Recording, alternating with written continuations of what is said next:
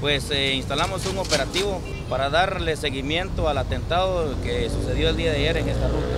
En este momento tenemos distribuidos 60 elementos, eh, distribuidos de la siguiente manera. Tenemos fuerzas especiales de policía, unidades antinarcóticas, unidades de explosivos, unidades investigativas de la Subdirección General de Investigación Criminal y por supuesto aquí tenemos también gente que pertenece a la Comisaría 14. Esto no solo son operativos en los bulevares principales, sino también incursiones en, áreas rojas, ¿verdad? Porque es ahí donde más eh, conviven este tipo de personas. Entonces nosotros le estamos dando seguimiento al, responsable que, se dio la fuga el día de ayer en la motocicleta. Eh, sí, eh, estamos parando buses, motocicletas y taxis. Le estamos dando prioridad a lo que son las motocicletas porque es ahí donde se conducen las personas porque tienen mayor movilidad. Entonces nosotros tenemos un operativo instalado para dar con los responsables. En taxis, ¿por qué?